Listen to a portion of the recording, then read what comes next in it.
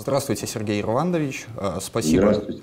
спасибо, что нашли время, чтобы обсудить э, некоторые важные и актуальные темы. И начнем, наверное, все-таки для начала с актуальных, с празднования Дня Победы. Э, этот праздник традиционно в Беларуси и в России имеет повышенную важность. То есть мы чествуем ветеранов, вспоминаем узников концлагерей, тружеников тыла, жертв нацизма. Но мы видим, что в других странах и, к сожалению, у наших соседей на постсоветском пространстве этот праздник, он не то что утратил свое значение, а можно сказать, что память о победе ее пытаются стереть на территории этих государств.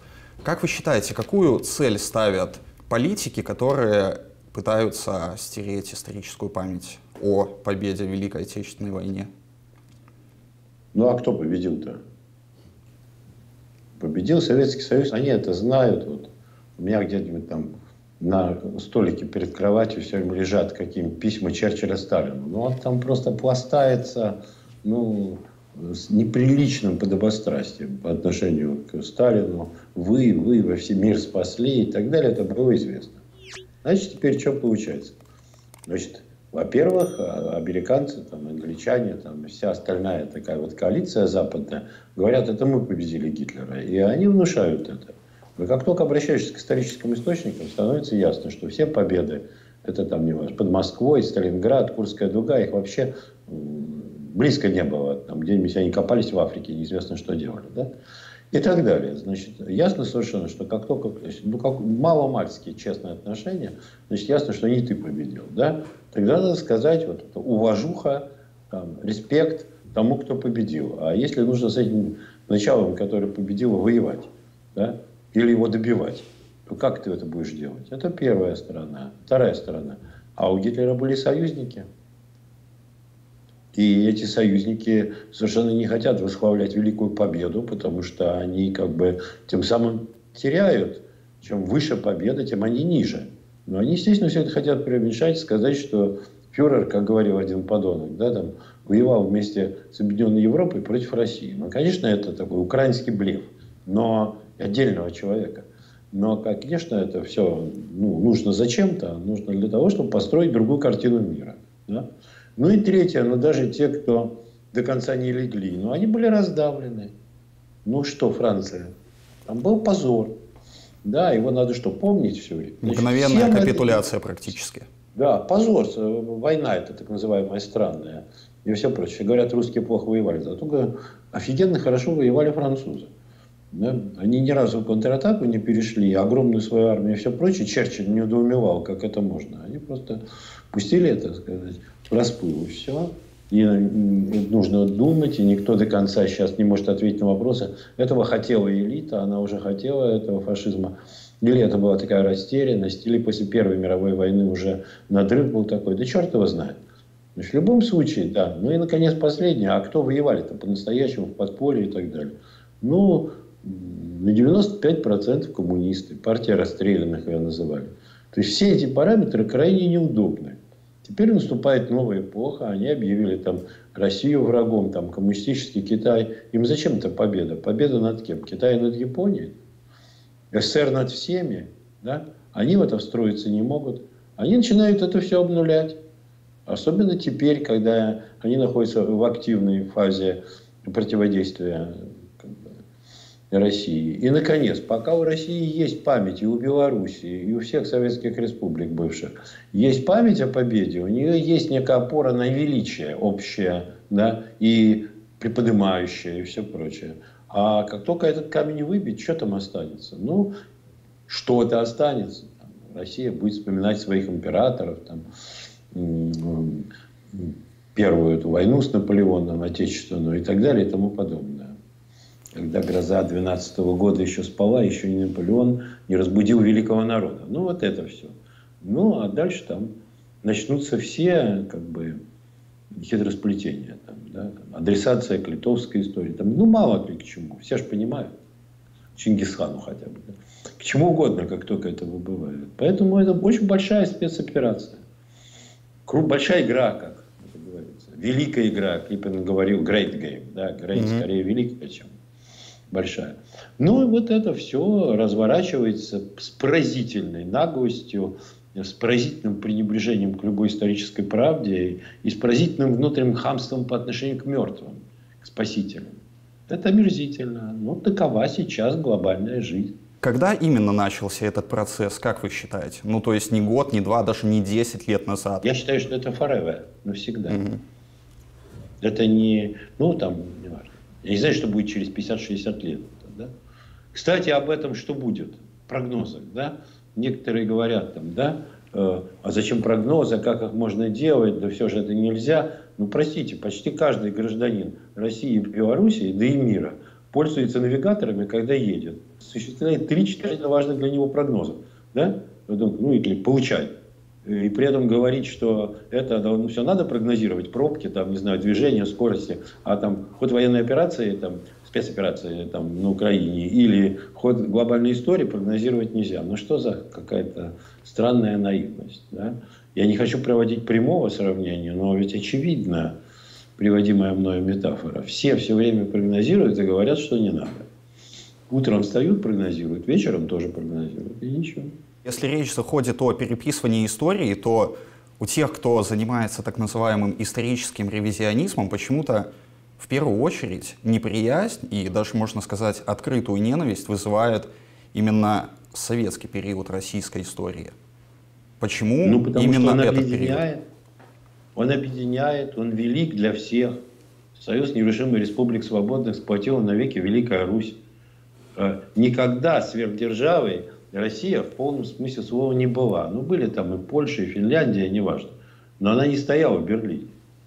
Она встала в Берлине и совершила некоторый мировой рывок только в советской ипостаси, что вовсе не умаляет предыдущие. Они все были великие. Но в советской ипостаси она осуществила особый рывок. Впервые она превратилась из догоняющей державы в державу, которая шла впереди в техническом прогрессе. Спутник, Гагарин и все остальное.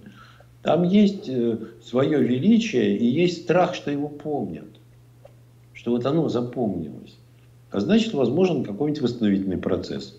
Ничего нет э, для совокупного Запада, для наших врагов страшнее этого процесса. Любой там, если Китай удвоит ВВП, это не так страшно, как если начнется восстановительный процесс на данном пространстве. Поэтому по нему особо бьют, чтобы он не возникал. Если для них это заболевание, то они его лечат, да? Если для нас это восстановление, а им нужно усиление заболевания, то мы боремся за одно, а они за противоположное. И все вокруг этого. Но если проводить какие-то параллели с совсем недавним прошлым, то все-таки сейчас, на мой взгляд, прослеживается некое сходство между эпохой так называемой холодной войны, когда две большие сверхдержавы противостояли друг другу. Пусть и не открыто, но тем не менее противостояние было. И сейчас мы можем наблюдать что-то подобное, то есть противостояние США и их союзников в Европе и России. До горячих э, столкновений, к счастью, дело пока не доходит. Понятно, что она ведется на многих фронтах политическом, экономическом, информационном. Так мы же о холодной войне говорим, простите, что перебиваю. Да, да. Холодная это уже давно, горячей нет, вы говорите. Да, к счастью, это так. И эта холодная война, она велась почему? Потому что было две сферы державы, и справедливо было говорить о том, что мир, он был не монополярным, а все-таки многополярным. А как вы считаете, справедлива ли такая характеристика для современного мира и вообще к какому мироустройству он движется? Я хочу сказать, что холодная война, если бы она состоялась э, и повторила полностью контуры войны между Советским Союзом и Соединенными Штатами, которая называется классической холодной войной, то я был бы счастлив. Потому что где есть холодная война, там нет горячей. И второе, это некий баланс сил. Советский Союз имел там эту соцстраны в виде своей дальней периферии, там, вплоть до Кубы, там, Вьетнама, и в каком-то смысле на каких-то периодах Китая. Это была такая мировая гигантская сила. Она была четко идеологическая, поэтому холодную войну можно было оформить идеологически. Два мира, две системы, там неважно. Конфронтация, конвергенция. Мощь была сопоставима. И Э, все это вызывало такую очень, я бы сказал, деликатную как бы позицию нашего противника. Он уважал, так сказать, это вот второе суперобразование. Он там пелось там или там шепталось килькоми фомоми, то ну, это убей коммуниста за маму. Но там, империя зла и все прочее. Но внутри всего этого была такая какая-то большая уважуха. Он ее потерял полностью при распаде. Он решил, что он победил, а когда Запад побеждает, в нем такое возникает безумие господства. Он еще должен там вытереть ноги побежденного, там, наступить ему на голову, там, добить там, и все прочее. С одной стороны. Во-вторых, так сказать, сам факт этого, этой победы, так сказать, ну, вверг в безумие мир и двинул его еще куда-то, да? И, наконец, ну, что значит признать, что этой победы нет? Ну, это полная фиаско. Сейчас э, это все идеальные капиталы. Вот если там метафизическая победа в э, Великой Отечественной войне это наш капитал, они его хотят обнулить, да, то их капитал победа над нами в холодной войне. Если сейчас на Украине все кончится не так, как им надо, они обнуляют этот гигантский капитал, у них другого нет. Поэтому, конечно, то, что сейчас происходит, намного хуже, чем холодная война по этой причине. Второе – я мог совершенно заинтересованно следить за тем, что происходило на Западе в ту эпоху. Там были великие писатели, было замечательное искусство, там все эти Филини, Антониони и так далее. Было какое-то уважение к человеку, было представление о каком-то гуманизме, и говорилось, вот у нас он есть, а у коммунистов нет. Сейчас Запад – это эпоха дегуманизации, смерть проекта гуманизм, смерть проекта человек, да? Какие-то извращения чудовищные, которые просто не просто подстегиваются, да, а что-то с ними особое делается. Все эти странные затеи там, с вакцинацией, Дошака компания, все звонили и говорили, вы знаете, что вирус химии, не смейте про это говорить, 100 тысяч страниц, что еще надо? Это же, значит, все какая-то совсем непростая затея, да? А она развивается. Культ беспорядочного потребления, в конце концов, ну, который... Да, ну, такого уже совсем, да. да? И, э, ну, вообще, слово «идеал» становится ругательным и так далее. Это говорит о том, что с той стороны накапливается ну, этот, этот конец времен, э, там, антихрист. Но как вы это не называете, но все классические черты, я вот светский человек, да, но все равно это действительно ну, такая концентрация зла и его обнажение – как говорилось когда-то в советской, русской классической литературе, срывание всех и всяческих масок. Да? Вот они сорваны. И обнажается совершенно другая ситуация по глубине конфликта, другое соотношение сил, другая наглость противника, да? другие применяемые технологии, другое ощущение пятых, шестых колонн и всего прочего. Да? И другое ощущение цены вопроса.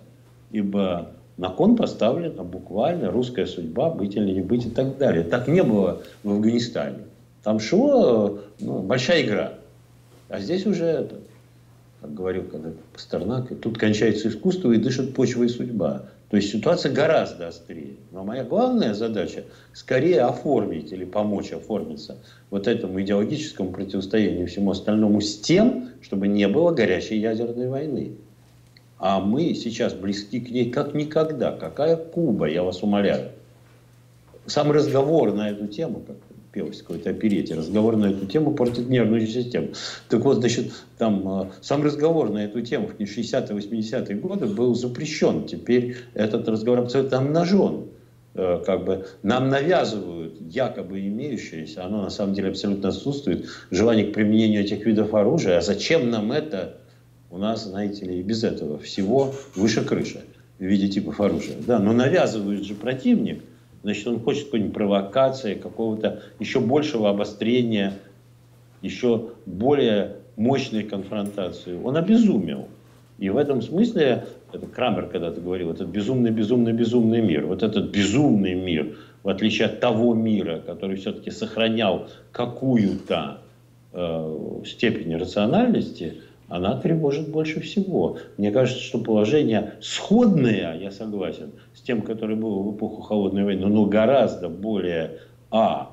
острое и страшное, б. демоничное и в.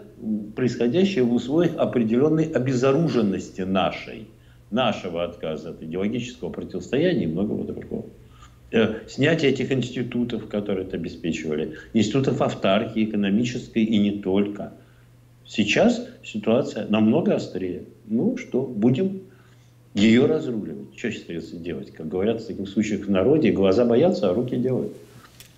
Будем надеяться, что этого все-таки не случится. У Эйнштейна есть хорошее выражение о том, что я не знаю, чем будут воевать в Третью мировую, но в Четвертую мировую будут воевать камнями и палками. Сейчас mm-hmm. это все э, полностью пытаются демонтировать, обсуждают постядерный мир, там, э, минимальное использование, как будто оно может быть минимальным и так далее. Мы находимся в ситуации, мы просто привыкли к ней, мы в ней живем, вот, выйти на улицу, выйти в ней жить, и я тоже, да. Поэтому есть же некая ну, адаптация нервной системы к существующим нагрузкам.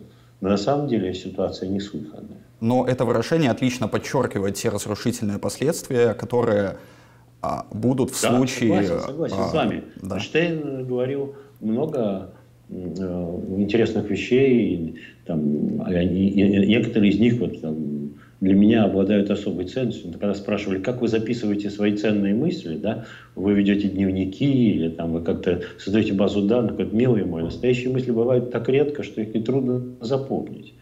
Это было первое. Когда он смотрел на роденского мыслителя, он спрашивал, зачем он думает, если ему это так тяжело. И так далее. Штайн был Бог не играет в кости и так далее. Ну, у него, да, да множество крылатых выражений. Да, в этом смысле Эйнштейн гораздо глубже, чем многие считают. Он, конечно, философ еще. И он не был бы физиком, если бы не стал философом и музыкантом, типа скрипачом. Да? Так или иначе, руку к созданию ядерной бомбы он все-таки приложил, как это не грустно да. признавать. Приложил, приложил. Они боялись, что э, Гитлер ее создаст первым. Они обратились к Рузвельту и так далее. Они потом боялись того, что он будет в Америке. Оппенгеймер так совсем боялся и сел за это на электрический стул. Они помогали э, скрыто Советскому Союзу быстрее создать противовес, потому что боялись того, что может развернуться. Они были еще незаурядными крупными людьми, моральными, духовными и так далее. Да, Сейчас да. я лично этого не лицезрею.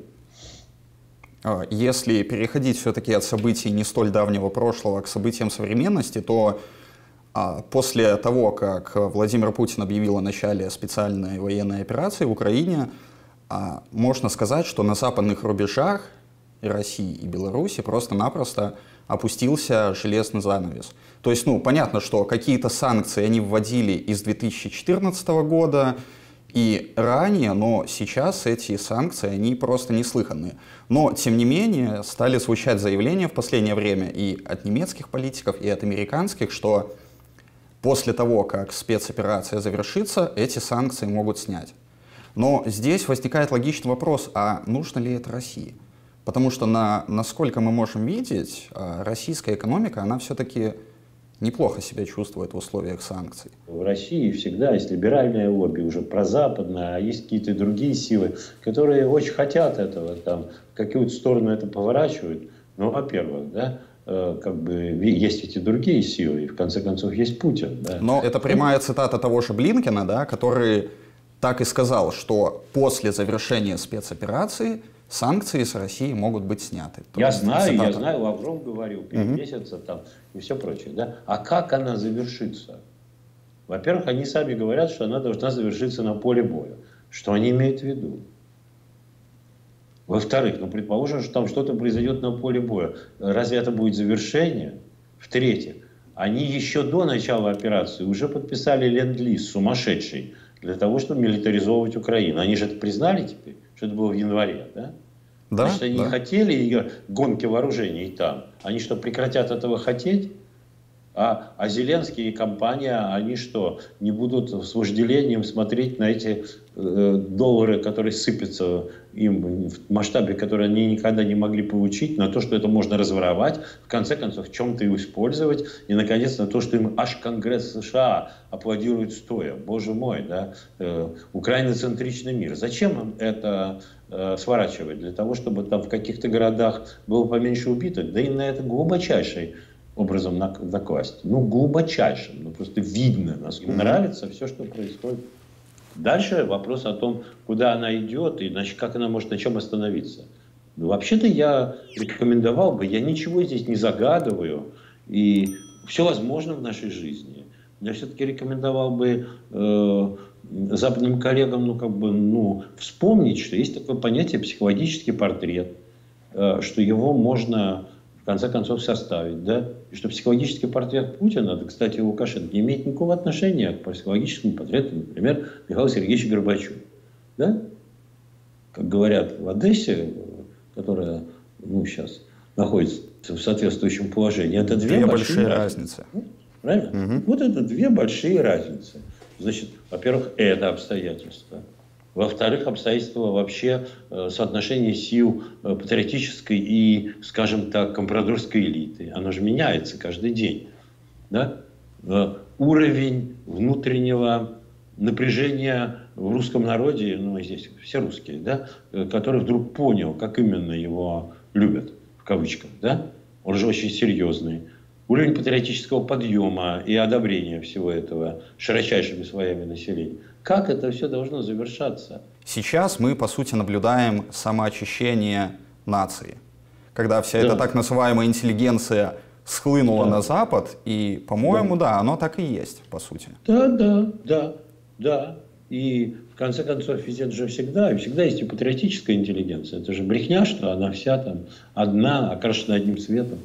Так что это все существует. И как это может кончиться? Они же не с режимом воюют и не с какими-то там ошибками руководства. Они воюют с, ну, больным, смертельно народом, который во имя блага человечества должен быть уничтожен. У них хватает наглости это все произносить. Но так это слышат. Это же тоже происходит. Э, что касается прогноза, я сразу сказал про 6 месяцев, да? Потому что никогда еще не велась такими видами оружия война на такой огромной индустриальной европейской территории, осложненной всеми этими городскими агломерациями. Это не Афганистан, это не пещеры Бора-Бора, это Краматорск и так далее. Поэтому скорость движения нетрудно вычислить. Как бы и там, огромная группировка рано или поздно окажется захлопнута в это кольцо, но с ней будут разбираться дольше, чем с Мариупольской. Потом уже видно, что Херсон и все прочее, в нем происходит то, что происходит, дальше возникает другая часть юга. Да? И что-то еще там они пытаются копошить э, в Тирасполе. Они должны знать, что российская военная элита, так сказать, относится к колбасному совсем не так, как им кажется. Да? тут есть соединение всего, и патриотизма, и стратегии, и интересов э, экономических. Так что тут же еще эти все точки. Дальше оно начнет так или иначе куда-то ползти. Неважно, Харьков, Днепропетровск, Полтава и так далее, Киев. Ну, предположим, предположим, что они не вмешаются. А я уверен, что тем или иным пакостным образом они вмешаются. Что этот эволюционный вариант который осуществляют военные, так сказать, называют стратегией огненного вала и медленного продвижения, он не будет идти по, по накатанному, да, э, и входить как нос масла. Там дернуться каким-нибудь наипока, наиомерзейшим образом. Я просто жду. Жду какой-нибудь большой-большой пакости. Да? Ну, предположим, даже ее не будет. И я так избыточно нервничаю. Ну, будет территория Э, достаточно проблемная с весьма разнообразным населением и отношениями. А она что? Она сама, так сказать, вдруг устаканится? Да это нужно 50 лет, чтобы это устаканить. Поэтому это не кончится, потому что это не нужно, это невозможно, и это невыгодно очень многим. Может быть, я не прав, но, предположим, оно кончится. Через сколько дней оно начнется? Ну, будет просто снова. Ну, предположим, что произошло что-то, я совершенно как бы не хочу сказать, что это там возможно, но вот предположим, да, I said only suppose, I'm suppressed. Я говорю лишь предположим это, да. Так вот, в случае, если это э, произойдет, как Хасавюр, да, говорит. Ну, так чем кончился Хасавюр? Он кончился полным фиаско Лебедя, так сказать, патриотической волной, и Рамзаном Кадыровым в стали, да? Так я понимаю. Даже если произойдет самое худшее, оно же не есть финал, да? Оно там э, обладает своей внутренней э, скоростью, э, ускорением своим, своими тенденциями, своим диалектикой. Крот истории все равно роет. Да? Ну и куда же он вырыт? Тоже понятно. Поэтому я думаю, что просто надо, понимая, сколь велики силы, которые хотят бы вернуть что-то к тому, что существовало до начала спецоперации, в принципе, особенно вам, поскольку вы намного моложе меня, молодость это та порог, который быстро проходит. И вообще всем готовиться к этой новой жизни, осмысливать ее, прорабатывать ее константы, делать так, чтобы она была эффективной и, между прочим, как я считаю, максимально мягкой в пределах той жесткости, которая окажется необходимой. Ну вот, а если мы говорим об окончательном разрыве отношений между Россией и странами Запада, то, ну, во всяком случае, лично мне больше всего нравится перспектива отказа от доллара. Потому что, ну, я думаю, очевидно, что экономика США, она все-таки построена по большей части на различного рода финансовых спекуляциях, нежели на каких-то реальных секторах и на производстве. И вот на ваш взгляд, насколько вообще реален отказ от доллара как от э, так называемой мировой валюты? Это впервые возможно. Это впервые возможно, потому что они это делают кто их тянул за какие-то места, чтобы они объявили Китай врагом, чтобы они создали это противостояние демократии и авторитаризма, чтобы они разыграли такую дикую кампанию русофобии, чтобы в конце концов они так нарушили все правила игры, про которые они сисюкают. Это, по правилам э, это, резервы золотовалютные можно так и забанить. Да? В этом есть правила. Какие правила? Да? Общака, там что экспроприации, да? Что они там еще говорят? Что они там отберут всю собственность у это называется экспроприация экспроприаторов, да, и так далее. Это, это в этом их правило. Но по, в этих правилах довольно не может быть м, легитимным, да. Он будет уходить. Поэтому вы, вы так считаете, я тоже так считаю, как говорил один из героев Шиллера, мы едины в мыслях. Возможно ли? Да, возможно. Это не произойдет автоматически. Но мы медленно в смысле хронологическом и стремительно в смысле историческом движемся в эту сторону. По-моему, даже неотвратимо. И при их решающей помощи. Но, на ваш взгляд, какие перспективы это сулит так называемой мощной экономике Соединенных Штатов Америки? Она уйдет на третье, четвертое место. Как только она перестанет печатать глобальную валюту, она уйдет на третье, четвертое место. А население очень раскормлено. Оно начнет бунтовать. Оно уже сейчас бунтует, бунтовать будет больше. Там возникнет большой кипиш, как говорится, на Ближнем Востоке. Выйдут из него они в диктатуру или в развал, никто сказать не может. Я думаю, в диктатуру. Но это будет такая свирепая диктатура, да, со всеми воспоминаниями э, о том, по отношению к чему Кокос-клан, так сказать, это мягкая конструкция, да, и так далее. А им будет делать-то? Ну, или они станут великой африканской державой да, с ядерным оружием да, и культом Вуду в качестве нового государства. Это бывает, может, может быть, потому что они на юге США уже этот культ Вуду где Сан-Франциско и так далее, в какой-нибудь среде не слишком богатых компьютерщиков и прочих, доминирует над всем остальным. Дальше он может ползти, ну, будет не Вуду, а что-нибудь промежуточное, матушка смерть, что-нибудь в таком латино-негритянский гибрид какой-нибудь. Да? Он далеко пойдет. Это возможно тоже, что негритянская часть населения просто прижмет белых совсем до уровня, ну как, я не знаю, в ЮАР, там, в Родезии, да, и так далее. И такой вариант возможен. Но скорее все-таки это белое меньшинство опомнится, и тогда все, что происходило перед этим, включая гражданскую войну, это будут э, очень мягкие гуманитарные акции по отношению к тому, что развернется. Население озвереет. Да?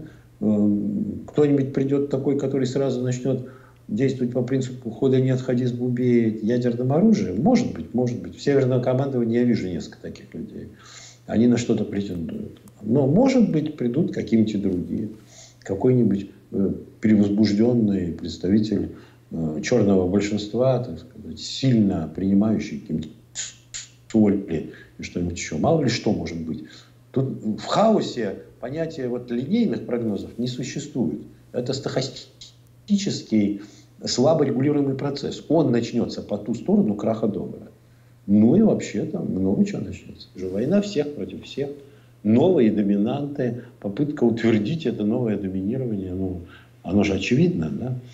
Сначала, я надеюсь, в Юго-Восточной Азии там, и в арабском мире, если речь идет о Турции, ну а потом, как говорилось в известной поговорке, а потом суп с котом. Вот такой мир. Я лично к нему готов. Я знал, что он будет с первого момента, когда э, антисоветское безумие э, как бы двинуло империю в сторону распада. Было ясно, что это только этим и кончится.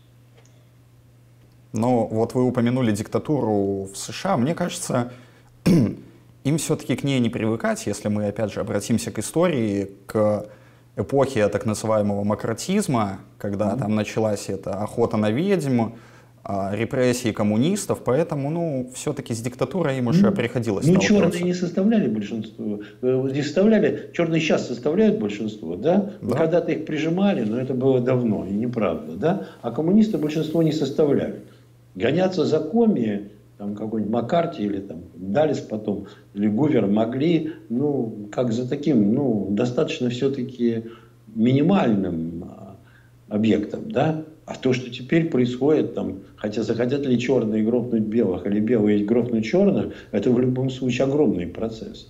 Там крови придется пролить море. Да? А в противном случае они будут бодаться. А в условиях объединения нации, так сказать, она тут же уйдет, повторяю, на определенное место после краха доллара, да, ну, как такое бадание, но это ну, самое страшное, что может быть. Угроза исчезновения, ну, найдутся какие-нибудь офицеры или какие-нибудь, так сказать, харизматические африканцы, которые начнут гнуть в свою сторону. Кто перегнет, не знаю. Пока что видно, что белые в унынии. У них такая генетическая депрессия и всяческая. Но я не убежден, что это так сказать, фатально направленный процесс. Возможно, они дернутся, но не с Трампом, а с кем-то, ну, раз миллион покруче. И не сейчас, а по ту сторону того, что мы с вами обсуждаем. Ну, вот мы поговорили о перспективах развития или, наверное, скорее деградации – а, так называемого Запада. А сейчас бы все-таки хотелось обсудить перспективы наших стран. И в первую очередь то, каким вы видите развитие белорусско-российских отношений. Ну, смотрите, что сделал Лукашенко. Во-первых, он был в числе тех, кто Беловежье не поддержал, правда? Изначально. Он выступал нем, против ратификации. На нем угу. как бы, вискули не висят, правда? Как и на Путине. Это первое. Второе. Он единственный построил модернизированную страну из постсоветских. Он взял все эти советские ценности, не стал биться в экстазе, чтобы там каждую крупицу оставлять. Сохранил вот это уважение к войне и всему прочему. И он-то построил идеологию, основанную на единстве традиций. Он это сделал. Как только он это сделал, возникла белорусская идентичность комплементарная по отношению к России и одновременно с этим э, ну, обладающая собственными параметрами. Это оказалось возможным. Там есть определенные периоды истории, там определенные правовые, так сказать, цивилизационные обстоятельства, которые, так сказать, позволяют что-то там сформировать мягкое, комплементарное и свое. Он это сделал. Дальше он создал эту гибридную экономику. Ну, как Иосиф Брод и кто угодно, он стал, так сказать, э, использовать это положение между, да, и использовал. Потом это все сорвалось, и он понял, что сколько бы хорошего он ни сделал, да хоть он там вообще построит идеальное государство Платона или что-нибудь еще, оно маленькое. И те не хотят, чтобы оно существовало. Это то, что изумляет всех постсоветских деятелей. И Путина, и Лукашенко, всех. Они не понимают, понимаете? Они не понимают, почему бы, там условно, красавица Беларуси во главе с Лукашенко, или не знаю кем, ну, там, что они там самое загибают, там, его сын, какая разница? Садатом все как-то, да? Имеет место. Ну вот, неважно с кем. Почему ей не войти в Европу? И Путин не понимает. Почему бы там не построить там еще лучше автострады, там домики хорошие, и всем там заняться вот этим делом. Они не понимают, не могут понять, как их ненавидят. насколько это иррациональная, фундаментальная ненависть, насколько страстно желание это уничтожить, насколько более того, любой успех на пути сближения вызывает увеличение этой ненависти, а не ее уменьшение. Это один из самых таинственных историосовских процессов. Путин и Лукашенко – люди земные, практичные, рациональные. Для них вот эта инфернальная волна, она им непонятна. Ну, Сталин не мог же понять, зачем Гитлер нападет на СССР. Что был человек да. рациональным, в отличие от Гитлера. Он говорит, а зачем? Что он там ему ловить? Почему не с Англии начать? Там? Да и вообще у него другие планы. Да? А у Гитлера были там, э, сумасшедшие идеи там, заимствования из Тибета, там, неизвестно откуда. Он был другой. Да? Видно же, Сталин все время говорил спокойно, рассудительно, во-первых, во-вторых. А Гитлер это такой шаман. А, а, а, а, вот это вот все. Да? Они очень разные. Он его не мог понять. Также сейчас наши руководители в силу вот своей собственной рациональности и приличности такой не могут понять, что с той стороны. Они когда это видят, они осуществляют то, что а, ну, Фрейд и Юнг называли проекцией. Они перенос осуществляют да, с себя на других. Ну, все такие. Ну, знаем же, да, ну, знакомые, ну, там, кофе пили, там, а может, и вискаря пили. Ну, все в порядке, да, ну, чего, в чем дело-то? Че, че, че безумствует? А они безумствуют. И это безумство будет нарастать.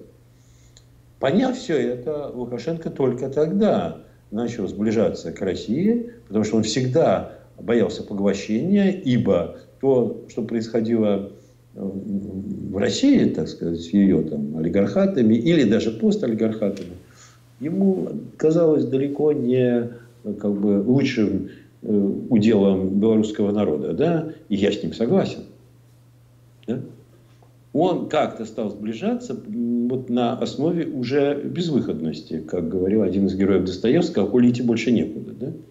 Он осуществляет это, потом чуть-чуть опять маневрирует, потом опять осуществляет. Но чем страшнее будет давление, тем в большей степени придется понять простую вещь. Маленькие страны с их ну, более или менее вменяемыми представлениями о своем историческом достоинстве не нужны Западу. Они не могут существовать ни на Западе, ни на Востоке. Это закон империи. Ту же Ливию и Каддафи вспомним, например. Да, никогда. Вот кто это, да? Армения. Мы нам вспоминали, я все время говорю, царя Тиграна. Я, ну, вспомнила бабка, как девка была. Это Бог, Бог знает когда и неизвестно где и так далее. А потом-то что было? Вилоед какой-нибудь, сатрапия, да, и резали. Персы, турки. Да? Кто спас-то? Русский царь, да? который этому создал что-то. А потом коммунисты создали аж целую союзную республику вместо сатрапии и вилоедов. Да? То же самое со всеми остальными из Грузии. В каком смысле все равно из Азербайджана? А где-то ну, в диких степях, там русские просто создавали все заново. Индустрию, там, э, язык, культуру и все. И создали, создали. Возник Чингис Айтматов. Да? Возникла киргизская литература. Кто в страшном сне мог себе представить до советский период киргизскую литературу? Если Или я не ошибаюсь, театр. А, если не ошибаюсь, во времена Сталина было создано порядка, то есть с нуля было создано порядка 15 языков для малых народностей Советского Союза. Конечно, о чем вы говорите? Это и есть вот эта симфония русская. Да? Значит, там Киргизия, Казахстан, ну там, я не знаю, ну были какие-то Эмираты, да, ну что они могли в современном мире? Теперь они все обособились кроваво и решили строить свое будущее, кроме Беларуси. Все. На антисоветской, антирусской основе. Но это же неизбежно приводит даже не только к фашизму, но и к безумию. Да? Они все более и более дичают на всех территориях, включая Прибалтику, в эту хуторскую, где вся крупная промышленность рухнула регресс, да, и такая как бы, жизнь по принципу гастарбайтера. Да? Ну, то есть, единственное, что можно вспомнить, это Тевтонский Ливонский орден. Да? Вот это можно вспомнить. Да? И как бы, а не какие-то независимые республики, которых не было. Они туда деградируют, да? прячутся за, под ногами американского дяди, который весьма специфичен, как мы видим, по Афганистану и так далее. Да? Но дальше-то что? Ну, их съели. Хорошо. Кто, кого-то съест этот западный монстр. А остальные? А Казахстан вообще, как бы, э, возможно, переоценивает силу любви китайского народа к своим среднеазиатским собратьям. Я не говорю же, что там что-нибудь такое, ой-ой-ой, ужас-ужас. Но там очень холодное и специфическое отношение. Афганистан, логика выживания, логика меньшего зла, логика примыкания к такому субъекту, который будет тебе там и язык создавать, и, так сказать, э, тебя обхаживать, и какую-то твою интеллигенцию выращивать. Кроме того, в этой империи-то был Великий Грузинский театр. И был, был театр Прибалтийский, и была киргизская литература, и армянская литература. А кто к империи исчез? Это же не нужно. Затем этим местечком что-нибудь великое. И оно не нужно. Значит, есть какая-то логика медленно осознаваемого центростремительного характера есть какое-то ощущение, что на определенных условиях и определенным образом, и с определенными, так сказать, взаимными уважухами, может, это и нужно делать. Мне нравился Владимир Вольфович, царство ему небесное, талантливый человек и яркий политик много он говорил правильно, но мне никогда не нравилось, как он там говорит, вот это, Лукашенко, там, министр сельского хозяйства. Ну, это, ну, это очень невежливо и не перспективно. А вот глубокое объединение на других основах, с другим представлением взаимного сближения элит, интересов и прочее, да, оно-то может быть вызвано только одним, таким давлением извне, при котором вдруг оказывается, ну, Будем жить так. И тогда начинаем спасать лучшее. Не так, чтобы оказаться поглощенными и в этом смысле лишенными чего-то из того, что Лукашенко называл красавицей Беларуси. Там же есть чем гордиться. А вот как-то иначе. И мне кажется, что это и есть наше будущее, если мы будем выстаивать. Дальше экономика никто никого назад э, за уши тянуть не будет. Да? Она должна быть, как говорил сказать, классик, многоукладной. Да?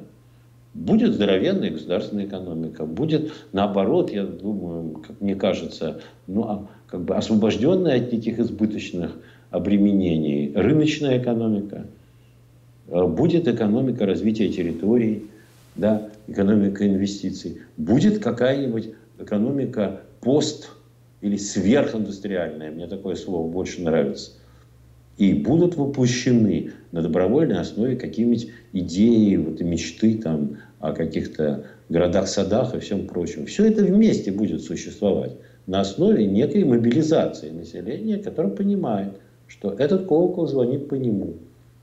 Дальше возникнут новые процессы в образовании и культуре, да? И все это вместе э, должно дать какую-то новую жизнь, новую реальность.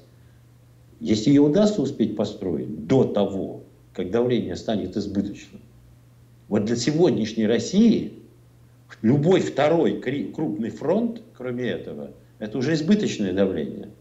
Это мобилизация у своих непреодоленных остатков либерализма и прочее. Это уже много. Понимаете? Значит, нужна новая страна, потому что будет и второй, и третий фронт. Япония к чему-то готовится. И там на юге есть все там признаки больших опасностей, да, но не сейчас. Not yet. Еще не сейчас. Те же самые японцы уже неоднократно высказывали свои притязания на, на Курилы, например. Есть вопросы, которые вообще наша аналитика не обсуждает. Японо-турецкое сближение. Что он собой представляет? Какова его метафизика? Кто тут что вдруг про себя начинает говорить? Японцы обнаруживают себя тюркским народом. Что там происходит на самом деле? Что за, что за борщ валится в этом котле? Или, не знаю, что. Адский суп, да? Макбетовский. Из ведьмы Макбета. Что там варят-то на будущее? Что варганится? Поэтому будет все это, будет. Безусловно, это одна из целей переписывания итогов ну, Второй конечно, мировой войны. Конечно, Конечно, в некий новый орган должны войти э, державы э, Рейха, там, Япония, там, э, Германия и так далее. Из него должны быть выброшены другие державы, да, Соединенные Штаты должны обнаружить, что Рейх это очень вкусно, да, и что он, ну, так сказать, были там некоторые там, у него заблуждения. Но эти заблуждения, кстати, от них начали отказываться формально уже в Сан-Ремо в 1946 году.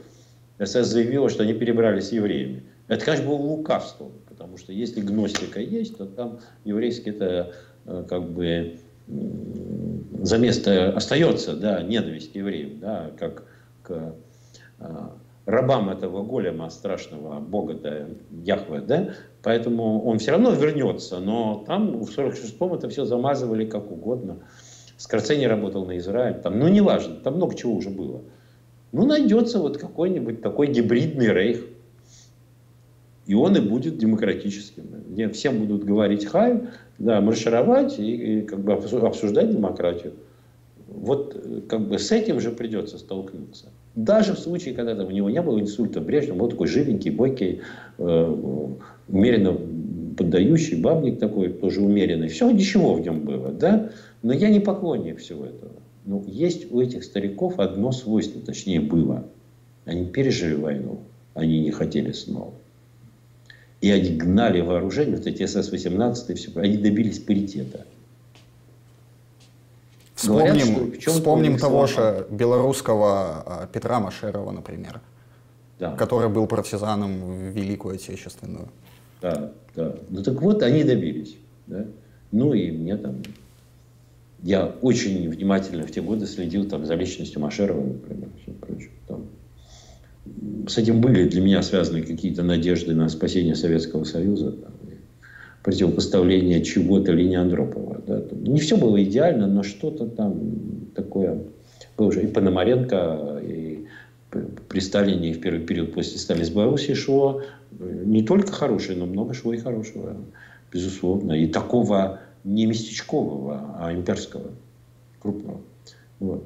Значит, там дальше надо будет выстаивать в условиях паритета. Будет паритет, они не рыпнутся. Не будет, рыпнуться. Я скажу больше. Даже если знаю, Белоруссия, Россия да, скажут, вот все, вы наши господа, мы рабы, мы пали ниц и ползаем на брюхе. Все равно долбанут ядерным оружием. Напоследок, вот, знаете. Чтобы добить просто. Как воевал мой друг, выпивая дорогое вино, а теперь надо шлифануть коньячком. Так вот, теперь надо шлифануть ядерным оружием эту ситуацию. Это безвыходно. Я не знаю, как объяснить это ну, большей части населения, но я это, для меня так это ясно, как простая гамма. А что ожидает в этой ситуации Украину? И в первую очередь а, вопрос касается ее территориальной целостности. Понятно, что такой, какой она была, она уже не сохранится. Но, тем не менее, например, та же Польша высказывает притязание на Западную Украину. Вот, на ваш взгляд, а, чем все это закончится? Украина могла существовать только с опорой на советскую историю, с почитанием этой истории, да, с такими реверансами по отношению к Ленину и ко всему остальному, а также по отношению ко всем русским царям, которые там что-то создавали и с торгом Запорожской сечи. Как только она от этого отказалась, она решила свою судьбу. Она никогда за вычетом этого не была крупным государством. Это первое. Второе, она всегда должна была существовать на основе межцивилизационного компромисса. И Кучма, худо или бедно, это как-то понимал. Конечно, его волокли тоже в эту сторону. Украина цене Европа, ну, то есть Украина цене Россия, прошу прощения. Да, были там всякие лелики и другие, кто это делали, но он что-то понимал. То, что они устроили с этим западенским триумфом, это безумие. Это самораспад, самоликвидация. Как она кончится, как она будет оформлена, ну, не знаю. Да, как бы, э, ну, я, например, считаю, что, ну, там, может быть, где-нибудь в НАТО использует какое-то небольшое государство, которое будет совершать все время диверсионные акты и все прочее. Да? Ну, будут у нас большие проблемы с населением, оно распропагандировано в этом идеологическом бандеровском ключе. Оно всегда ну, там, содержала в себе такой легкий антимоскальский такой душок. Да? И не будем думать, что этого не было и в советские годы. Оно резко это все усилило, да? Поэтому там население распадется на три части. Нейтральную, которая будет говорить «моя хата с краю». Да? Никто же не говорил «моя изба с краю». Говорилось «моя хата с краю». Да? Вот.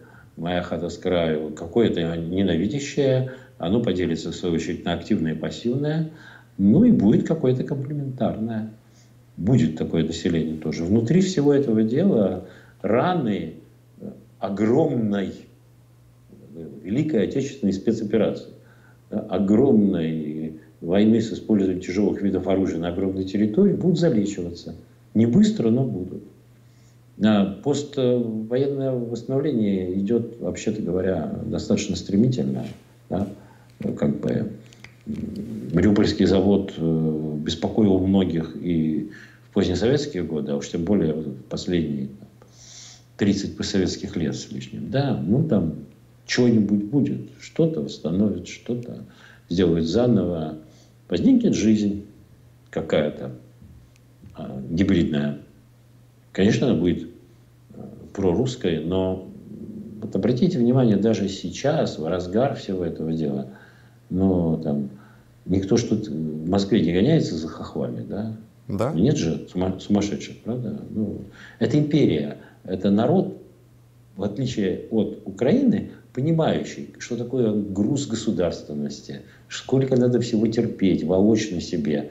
Столетиями этот опыт приходит, он остается в каких-то социокультурных генах. Да? И ничего подобного того, что там этого антимоскальства как бы касается, тут нет. Ну и на поворчат чуть-чуть. Этого не было никогда. Вот не удается это раскачать, понимаете? А значит, база для какого-то ну, объединительного процесса, да, да, для, база для воссоздания какой-то разумной и э, для всех э, желанной в силу ее внутренних качеств империи, империи со знаком плюс, она всегда остается. Этой базой является ну, наша единая кем бы мы ни были там, они русская ментальность с ее вот бережным отношением к чужому и желанием как-то это чужое вовлечь в сложно построенный космос, а не свести к нулю. Я за любую формулу, там, согласно которой там, а, Украина, так сказать, есть проблемная зона в ее нынешнем качестве. Я не против. Ну, Ленин, Ленин. Я как бы человек с очень советскими взглядами. Я уважаю Ленина, но не буду там винтом скручиваться каждый раз, когда говорится о его ошибках. Он его собрал заново. Ну, теперь надо говорить не идеальным способом. Ну, посмотрим, каким другие соберут. Сделайте лучше, да? Есть многое, с чем я не согласен, есть многое, что я глубочайшим образом уважаю. Есть силы этой мечты, страсти, неважно хотите апеллировать к Ленину, там, в белорусском, прошу прощения, в украинском вопросе, ну, ради бога, я не буду тут по этому поводу метать громы и молнии, там, апеллировать к тому, что там это белогвардейцы, совершенно не все равно. Но это было давно, при царе Горохе. А Беловежская пуща произошла недавно. И до того, как она произошла, был закон о выходе республики состава СССР причем этот закон принялся и демократически, демократической властью, съездом народных депутатов СССР. Почему он был нарушен? Кто посмел его нарушить? В ГКЧП были мои друзья или хорошие знакомые. Да. Я считаю, что это были люди мягкие, но благородные. Да? Но кто-то считает их исчадьями ада. Ну, расстреляйте. Почему надо разрушить съезд народных депутатов СССР, результаты референдума и все законы? Что такое это Беловежье? Что за бред? Почему то, что сформировалось на этой основе, надо считать до конца легитимным? И может ли оно быть легитимным в условиях, когда люди, жившие на территориях единой страны, вдруг оказались крепостными, прикрепленными неизвестно к чему? Тирасполь принял, э, как бы, согласно закону о выходе, все необходимые процедуры провел. Там был межнациональный мир все еще. Кто его там приковал к этой молдавской цепи-то? Она чужая. Ну, сказать, проведите референдум. Э, если делима Канада, то делима Квебек, да? как говорилось, так сказать, по отношению к западным прецедентам. Если делим Советский Союз, то делим и Украина. Какие-то ее части демократически по референдуму выйдут. Самая Испания, в конце концов, где баски, Конечно, где ну, баски хотят отделиться, да? Откуда это варварство? Что оно означает? Поэтому вопрос о территориальной целостности, которая вдруг стала, особенно после Косово, что очень трогательно, в кавычках, да, каким-то императивом, но это же бред. Этого не может быть. Этого никогда не было. Ну, пусть бы они так Э, с Советским Союзом тогда обращались, или с Югославией, или мало ли еще с чем. Значит, на настоящий момент проблема территориальной целостности – это острая проблема, которая взыскует предыдущей легитимности, в том числе референдумов и всему остальному. И она будет решаться каким-то демократическим, э, плебисцитарным, подлинно демократическим, широчайшим путем после денацификации. А вот... Как решалась эта проблема, в конце концов, мало ли где, на всех территориях. Вот на ваш взгляд, что ожидает, а, скажем, такую политическую фигуру, как Владимир Зеленский? Какая судьба его ждет после того, как спецоперация она завершится? Нет, после того, как спецоперация завершится, я даже не буду говорить, что его ожидает. Да? Как когда-то было такое произведение «Хождение по мукам», там а, такой герой Лева Задов говорил, что я сделаю с тобой то, что с одним не делал со своей Гаморой. То, что его ожидает со всех сторон после завершения спецоперации, я не буду комментировать. Да? Я, он меня вызывает глубокое отвращение, и тем не менее я сострадаю этой участи да? в чем-то. Но он поэтому и сделает так, чтобы спецоперация не кончалась. А то есть... вот угу. в условиях, когда он оседлал коня вот этого, так сказать, жертвоприношения, да, ему хорошо. Ну, как, ну разве не видите, что ему хорошо?